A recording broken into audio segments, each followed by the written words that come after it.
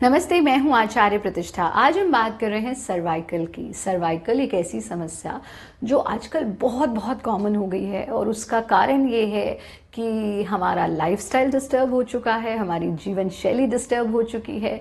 फिर हम ऐसा कुछ भी नहीं करते जिससे हमारा शरीर स्वस्थ रहे। हम मोस्ट ऑफ़ द टाइम अपने शरीर से काम ही लेते रहते हैं, लेकिन उसके स्वास्थ्य के लिए कुछ भी नहीं करते हैं।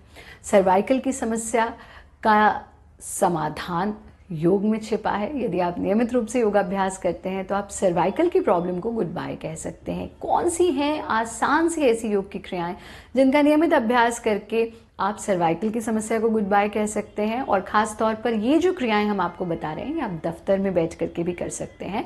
सुबह शाम तो इनका अभ्यास करें ही करें, आप दिन के किसी भी समय इनका अभ्यास कर सकते हैं, यानी ये वो क्रियाएँ हैं जो निरापद हैं। साथ ही इन क्रियाओं का कोई साइड इफ़ेक्ट तो है ही नहीं, और ये भी आवश्यक नहीं है कि इनको भोजन के बाद आप नहीं कर सकते या खाली पेट ही करना है। तो इन क्रियाओं को आप अच्छी तरह से सीखिए, समझिए और नियमित रूप से इनका अभ्यास कीजिए। इस प्रकार से वज्रासन में बैठेंगे और वज्रासन में बैठ करके दो तीन स्टेप्स आपको करने हैं। पहला काम, इस तरह से बैठना और अपनी दोनों उंगलियों को अपनी चिन पर लगाना। चिन पर उंगलियों को लगा करके पीछे की तरफ़ प्रेस करना, यथा सामर्थ्य रुकना, ढीला छोड़ देना। फिर से पीछे की ओर प्रेस करना, यथा सामर्थ्य रुकना, ढीला छोड़ देना। इस क्रिया को चार से पाँच बार आप दोहराएँगे, शरीर को ढीला छोड़ देंगे। दूसरे स्टेप में आप अपने दाएँ हाथ को अपने सर की दाई तरफ़ रखेंगे और ध्यान से समझिए, आपको सर को दाई तरफ़ प्रेस करना है और हाथ को बाई तरफ़। यानी इस स्थिति में दोनों को एक दूसरे के अगेंस्ट प्रेस करना, ढीला छोड़ देना। फिर से एक दूसरे के अगेंस्ट प्रेस करना, ढीला छोड़ देना। फिर से एक दूसरे के अगेंस्ट प्रेस करना और ढीला छोड़ देना। इसी प्रकार से हम बाएँ हाथ से करेंगे। हाथ से सर को प्रेस करना, सर से हाथ को प्रेस करना। Press and relax. Press and relax. Press and relax. फिर हम इस तरह से फिंगर्स को या तो इंटरलॉक कर लेंगे या ऐसे माथे पर रखना और उसी प्रकार से सर से हाथ को प्रेस और हाथ से सर को press.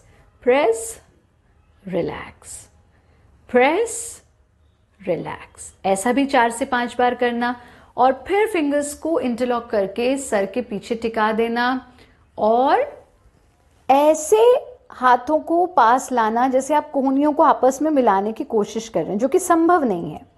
इस स्थिति में लाना और फिर पीछे ले जाना जैसे आप पीछे की तरफ़ से कोहनियों को मिलाने की कोशिश कर रहे हैं, जो संभव नहीं है।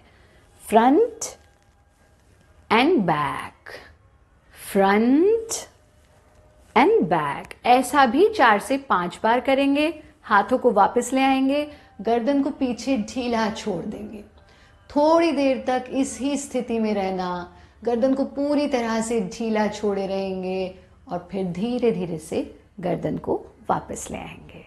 इन क्रियाओं का नियमित अभ्यास करें, अपने पॉस्चर को ठीक रखें, अपने मोबाइल फ़ोन यूजेज के टाइम को लिमिट कीजिए, ये बहुत बहुत आवश्यक है। अगर आप डेस्कटॉप वर्क बहुत ज़्यादा करते हैं टेबल वर्क बहुत ज़्यादा करते हैं, बहुत देर कंप्यूटर पर काम करते हैं तो आपको बीच बीच में गैप लेने की बहुत सख्त आवश्यकता है और उस गैप में भी आप इन क्रियाओं का अभ्यास कर सकते हैं।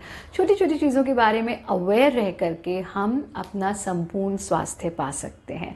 आप नियमित रूप से हमारा कार्यक्रम देखते रहिए, हम रोज़ आते हैं, आपके पास एक नई समस्या और उसका एक नया समाधान लेकर के आप सभी मस्त रहें, व्यस्त रहें, स्वस्थ रहें और किसी परेशानी से नहीं त्रस्त रहें।